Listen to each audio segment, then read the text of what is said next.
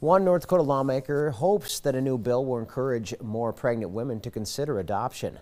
Kathy Hogan is proposing Senate Bill 2321, which includes more protections for mothers who agree to an open adoption. That would include allowing mothers to see and communicate with the child and with the adoptive parents while the child grows up. Currently, adoption advocates say there's nothing to prevent adoptive parents from closing the adoption at any time, which could freeze out the birth mother until the child turns 18 and it is is gut-wrenchingly hard to try and track it down, to get it reopened, to get the files opened, um, to find out where you come from and who, part of who you are.